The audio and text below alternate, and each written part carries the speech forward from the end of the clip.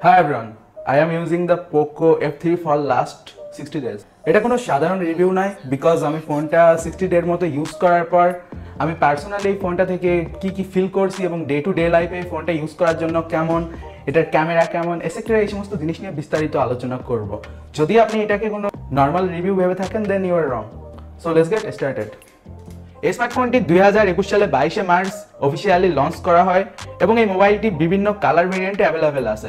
এর ভিতর উল্লেখযোগ্য সাদা, কালো ব্লু এবং আমি যে ভেরিয়েন্টটি ইউজ করতেছি, এটা হলো কালো কালারের বিকজ আই লাভ ব্ল্যাক এই ফোনের নেটওয়ার্ক কানেক্টিভিটিতে রয়েছে Bluetooth NFC wifi five G so network কানেক্টিভিটিতে কোনো কমতি নেই। এটার ওজন ওয়ান গ্রাম যেটা কিনা যথেষ্ট পাতলা as compare to Xiaomi Redmi Note ten Pro R Pro Max এটা থেকে যথেষ্ট পাতলা আর যথেষ্ট হাতে ধরতে সহজ।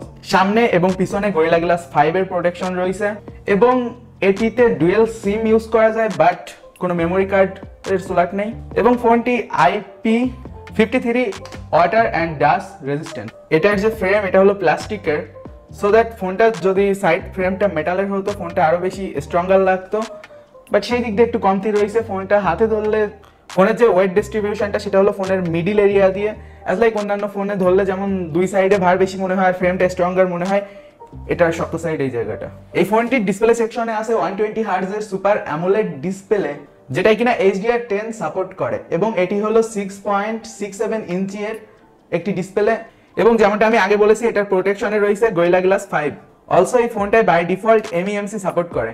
সো দ্যাট লো ফ্রেম রেটের ভিডিওগুলো চাইলে আমরা হাই ফ্রেম রেটে দেখতে পারব, যেটা কিনা আমার কাছে খুব সুন্দর একটা ফিচার নর্মাল ভিডিওগুলো দেখার এক্সপিরিয়েন্স অন্যরকম হয়ে যায়। এখন কথা বলব ফোনটির অপারেটিং সিস্টেম সম্পর্কে। এই ফোনটিতে রয়েছে অ্যান্ড্রয়েড ইলেভেন এবং যেটার উপর কভার অথবা স্ক্রিন দেওয়া এমআইউ এর টুয়েলভ পয়েন্ট ফাইভ এর। যেটা কিনা আমার কাছে খুব বেশি একটা ভালো লাগেনি, কারণ ফোনটি রিলিজ হয়েছে অলমোস্ট ছয় থেকে সাত মাসের মতো। কিন্তু এখনও বিভিন্ন প্রকার সফটওয়্যার ইস্যু রয়েছে।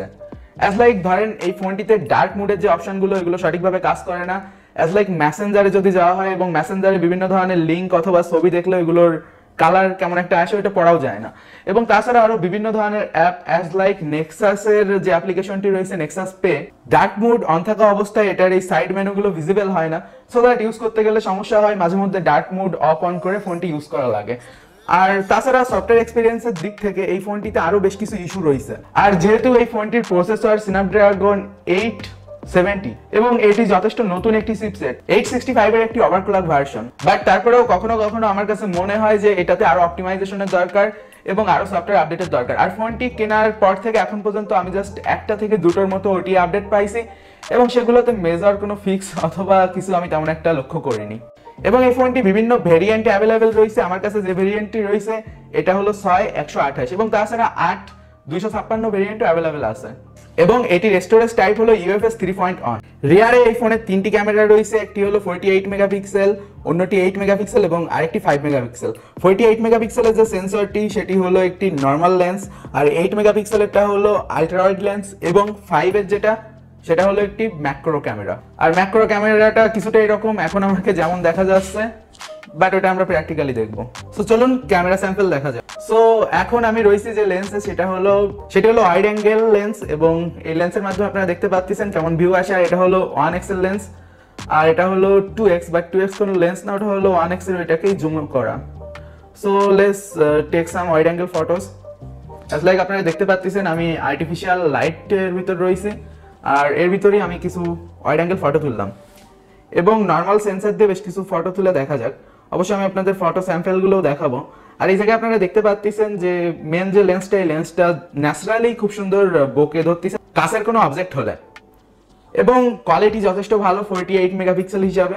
আর গাইজ এখন আমি সেলফি ক্যামেরায় রয়েছি এবং আপনারা দেখতে পাচ্ছেন যে সেলফি ক্যামেরাটা যথেষ্ট স্পষ্ট এবং টোয়েন্টি মেগাপিক্সেলের ক্যামেরা হিসাবে যথেষ্ট ভালো। আর চলুন স্যাম্পেলগুলো দেখা যাক। তো এটা হলো সেলফি স্যাম্পেল অ্যাজ লাইক যেমনটা দেখতে পাচ্ছেন ডিটেলগুলো যথেষ্ট ভালো, আমার হেয়ারগুলো যথেষ্ট ভালো দেখা যাচ্ছে।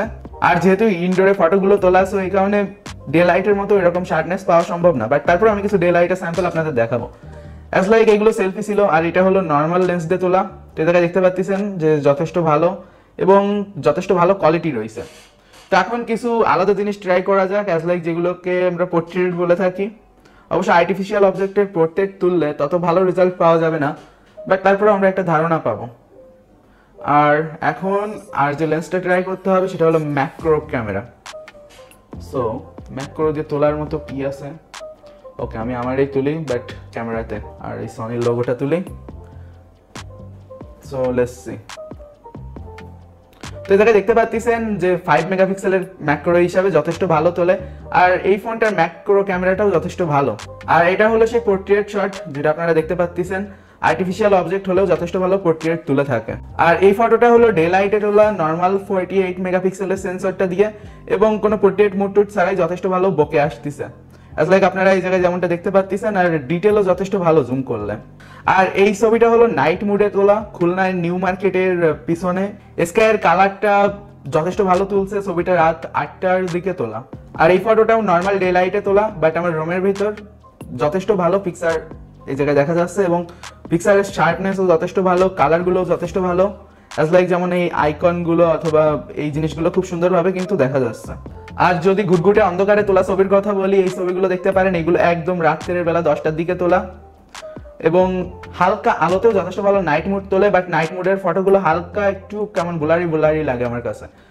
মানে ঘোলাটে ঘোলাটে হয়ে যায়। আর আমার মনে হয় না এই ছবিগুলো আপনারা অনলাইনে আপলোড করতে পারবেন বিকজ তেমন একটা ভালো ছবি না। লাইক কিছুটা গেড়ি গেড়ি থাকে। বাট তারপরেও যথেষ্ট ভালো। আর যদি ভিডিও স্যাম্পেলের কথা আসে, এই জায়গায় আপনারা দেখতে পাচ্ছেন একটি ভিডিও স্যাম্পেল এই ফোনটা নিয়ে করা। এবং তাছাড়াও আমি বেশ কিছু ভিডিও স্যাম্পেল অ্যাটাচ করে দিব। আর এইগুলো হলো সেলফি ক্যামেরা দিয়ে করা, আর এই ভিডিওটা হলো সেলফি ক্যামেরার থ্রু করা।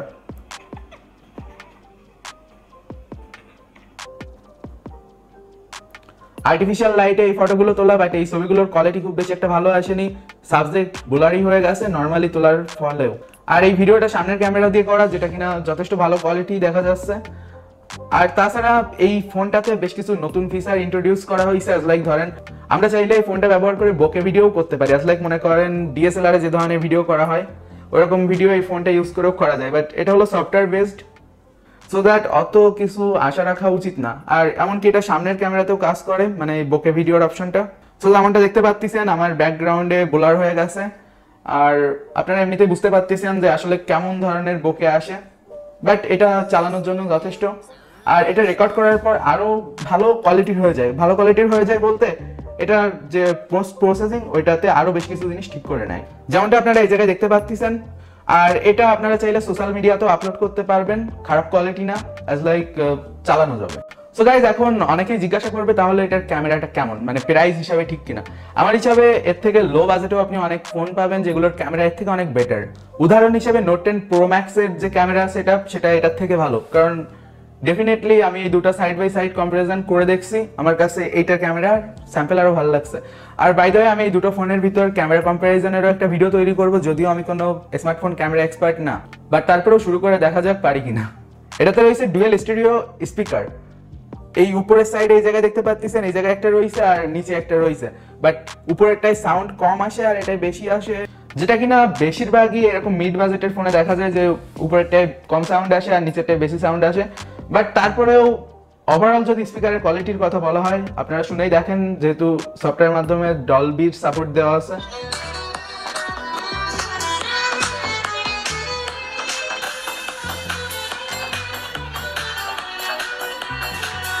সিকিউরিটির দিক দিয়ে এই ফোনটিতে রয়েছে সাইড মাউন্টেড ফিঙ্গারপ্রিন্ট সেন্সর যেটা কিনা যথেষ্ট ফাস্ট আর যথেষ্ট অ্যাকুরেট খুব কম টাইমের ভিতরে এটা আনলক করে ফেলে ফোনটা জাস্ট ক্লিক করার সাথে সাথে।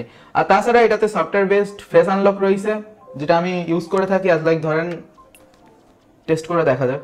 তো সাথে সাথেই খুলে যায় অনেক ফাস্ট এটা। এবং তাছাড়া গাইস যদি আপনার চোখ অফ করা থাকে, তো ফেস আনলকটা কাজ করবে না। আপনার চোখ খোলা থাকলেই কাজ করবে। সো দ্যাট সফটওয়্যার বেস হলেও যথেষ্ট সিকিউর আছে। এই ফোনটিতে চার হাজার পাঁচশো এমএএইচ এর ব্যাটারি। আর এটার ব্যাটারি ব্যাকআপ যথেষ্ট ভালো অ্যাজ লাইক আপনি একদিন ইউজ করতে পারবেন। আর যদি আপনি গেমার হয়ে থাকেন, তো একটা না পাঁচ থেকে ছয় ঘণ্টার মতো গেম খেলতে পারবেন। আর যদি হাই গ্রাফিক্সের কোনো গেম খেলে থাকেন as like PUBG Free Fire এই টাইপের গেমের ক্ষেত্রে আপনি চার থেকে সাড়ে চার ঘণ্টার মতো ব্যাটারি ব্যাকআপ পাবেন। বাট আমি গেম টেম খেলি না। আমি ইন্টারনেট থেকে বিভিন্ন জায়গায় রিভিউ দেখে এটা জানছিলাম, তাই আপনাদের সাথে শেয়ার করলাম। আর এই ফোনটার অ্যান্টু টু বেঞ্চমার্ক স্কোর ছয় লাখ তিরিশ হাজারের মতো। সো বুঝতে পারতেছেন পারফরমেন্স যথেষ্ট ভালো। কারণ স্ন্যাপড্রাগন এইট এইট এইট যেটা বর্তমান সময়ে সব থেকে লেটেস্ট আর পোকো এফ থ্রি প্রোতে যেটা রয়েছে, সেটার আন টু টু স্কোর সাত লাখ সামথিং তো এই জায়গায় ডিফারেন্স এক লাখের মতো। বাট এই ফোনটিতে নেই কোনো হিটিং ইস্যু আমি অনেকদিন ধরে ব্যবহার করে তেমন কোনো ধরনের হিটিং ইস্যু পাইনি। সো বুঝতেই পারতেছেন যে ওই সমস্ত জিনিস নিয়ে কোনো প্রবলেম নেই। সো এই তো ছিল নর্মাল রিভিউ যেটা সম্পর্কে আমরা কম বেশি অনেকেই ইন্টারনেট থেকে দেখে- আইছি। বাট এখন যে জিনিসটা, আমি পার্সোনালি ফোনটা ইউজ করে কেমন পাইছি এবং তাছাড়া এই ফোনটা ডে টু ডে লাইফে ইউজ করা যায় কিনা। আর কি কি সমস্যার সমাধান হলে এই ফোনটি আরও ভালো হতো। অ্যাজ লাইক ধরেন, এই ফোনটিতে ক্যামেরাটা আর একটু বেটার দেওয়া যেত। অ্যাজ লাইক নোট টেন প্রোতে যে চৌষট্টি মেগাপিক্সেলের সেন্সরটা ইউজ করা হয়েছিল অ্যাটলিস্ট এই ফোরটি এইট মেগাপিক্সেলের সেন্সরটা ইউজ না করে ওইটা করতে পারতো।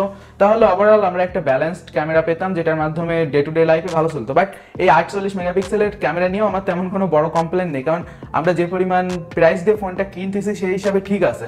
বাট কম্পিটিশনে এর থেকে কম দামি ফোনেও কিন্তু এর থেকে ভালো ক্যামেরা পাওয়া যায়, এটা একটা পয়েন্ট আর তাছাড়া এই ফোনটির যে সাইড ফ্রেম ওটা মেটাল দিয়ে তৈরি করলে ভালো হতো। এমনিতে ভালো হওয়ার তো কোনো শেষই থাকে না যে এটা হলে ভালো হতো, ওটা হলে ভালো হতো, পাঁচশো মেগাপিক্সেলের ক্যামেরা থাকলে ভালো হতো, এরকম বলা তো সহজ। বাট কোম্পানিরও এই জায়গায় প্রাইস রেশিও ঠিক রাখার জন্য অনেক কিছু স্যাক্রিফাইস করতে হয়, যেটা আমরা জানি। আর এখন কথা ফোনটির কোন কোন জিনিসগুলো আমার কাছে বেশি ভালো লাগিছে অ্যাজ লাইক এটার যে ভাইব্রেশন মোটরটা রয়েছে, ওটা জোস অ্যাজ লাইক এই প্রাইসে ওই ধরনের ভাইব্রেশন মোটর অন্য কোনো ফোন ইউজ করে না। আর বর্তমান সময়ে এই প্রাইসে এর যে কম্পিটিটররা রয়েছে, তাদের থেকে এ অনেক ভালো, প্রত্যেকটা দিক দিয়েই। আর ডে টু ডে লাইফে এই ফোনটার বেশ কিছু জিনিস রয়েছে, যেগুলো আমার পার্সোনালি ভালো লাগিছে, যেমন এমইএমসি এটার মাধ্যমে নর্মাল যে কোনো ভিডিওকে আমরা হাই ফ্রেম রেটে দেখতে পারি। এটা আর্টিফিশিয়াল হলেও মানে দেখার সময় আর্টিফিশিয়াল লাগে না, যথেষ্ট রিয়েলিস্টিক মনে হয়। ফোনটায় কোনো হিটিং ইস্যু নেই so day to day life use করার জন্য অনেক সহজ। বাট এই ফোনটার ওই যে যেটা বললাম যে সাইডের ফ্রেমটা যদি প্লাস্টিকের না হয়ে মেটালিক কিছু দিয়ে তৈরি করা হতো দেন অনেক ভালো হতো। বাট তারপরেও বেশিরভাগ লোক কেস ইউজ করে ফোনে সো ওইগুলো কোনো বড় ইস্যু না। আর ফোনটিতে অলমোস্ট আমি ষাট থেকে সত্তরটির মতো অ্যাপ্লিকেশন ইনস্টল দিয়ে রাখছি। আর কন্টিনিউয়াসলি আমি দশ থেকে পনেরোটার মতো অ্যাপ্লিকেশন প্রত্যেক দিনই ইউজ করে থাকি ইন্টারনেট সার্ফিং করি ইউটিউবে ভিডিও দেখি। সো ওই হিসাবে আমি কোনো প্রবলেম পাইনি। সো এই রেঞ্জে যদি আপনারা কোনো ফোন কিনতে চান অ্যাজ লাইক আপনাদের বাজেট যদি পঁয়ত্রিশ থেকে চল্লিশের ভিতর থাকে then you can go for it আর বিগত ষাট দিন আমি ব্যবহার করে এই এক্সপিরিয়েন্সগুলোই পাইছিলাম। আর টুকটাক জিনিসগুলো আপনারা তো ইন্টারনেট থেকে জেনেই গেছেন। সো আমার পক্ষ থেকে রিকমেন্ডেড বাট শাওমির এটার সফটওয়্যার নিয়ে আরও কাজ করা উচিত। যার ফলে আমরা এটার এই ডার্ক মোডের যে ইস্যুটা এটা ফিক্স পাই। আর তাছাড়া এটা ইউআইটা আরও ক্লিন হওয়া দরকার। কারণ পঁয়ত্রিশ হাজার টাকার ফোন কিনে অ্যাডভার্টাইজমেন্ট দেখবে, এটা মানানসই না। সো গাইস এই ভিডিও এই পর্যন্তই। আর খুব শিগগিরই আমি আরও বেশ কিছু স্মার্টফোনের রিভিউ করব। আর তার পাশাপাশি এই চ্যানেলে আমরা যে ধরনের ভিডিও তৈরি করে থাকি, ওই ধরনের ভিডিওগুলোও তৈরি করব। আর আমি চেষ্টা করব প্রত্যেক মাসে কমপক্ষে দুটো থেকে তিনটার মতো যে টপ স্মার্টফোনগুলো থাকে, অথবা আমার কাছে পার্সোনাল রিকমেন্ডেশনে মনে হয় এই ফোনটি রিভিউ করা উচিত, অথবা আপনাদের এই ফোনটি সম্পর্কে জানা উচিত। তো আমি এই ধরনের ভিডিও তৈরি করব। আর তাছাড়া আপনারা যদি মোবাইল ফোন মোবাইল ফোনের অ্যাক্সেসরিজ এবং বিভিন্ন ধরনের প্রোডাক্ট কিনতে চান নিউবিডি শপ ডট কম থেকে কিনতে পারেন। নিউবিডি শপের অ্যাপ্লিকেশন আপনারা গুগল প্লে স্টোরে পেয়ে যাবেন। আর নিউবিডি শপে আপনারা কম বেশি সকল ধরনের জিনিস কিনতে পারবেন, আর এই জায়গায় আপনারা ক্যাশ অন ডেলিভারির মাধ্যমে পণ্য কিনতে পারবেন। বাংলাদেশের যে কোনো প্রান্তে পাঁচ থেকে সাত দিনের ভিতর ডেলিভারি পেয়ে যাবেন। আর তাছাড়া অন্যান্য ই কমার্স ওয়েবসাইটে যেমনটা করা লাগে যে আপনাকে দুই মাস, তিন মাস ধরে টাকা দিয়ে বসে থাকতে হয় ওরকম কোনো ঝামেলা নেই। কারণ আপনি ক্যাশ অন ডেলিভারিটা কিনতে পারতেছেন। কিছু কেনেন আর না কেনেন, নিচে ডিসক্রিপশনে নিউবিডি শপের ওয়েবসাইটের লিঙ্ক দিয়ে দেওয়া একবার ভিজিট অবশ্যই করবেন। সুস্থ থাকবেন, সুন্দর থাকবেন। আর আপনি যদি ethical hacking cyber security programming online earning শিখতে চান এবং অনলাইনে কেরিয়ার তৈরি করতে চান, তাহলে টেকনিক্যাল বাংলা ডট কম ওয়েবসাইটে ভিজিট করতে ভুলবেন না। সুস্থ থাকুন, সুন্দর থাকুন। দেখা হচ্ছে পরবর্তী ভিডিওতে গুড বাই.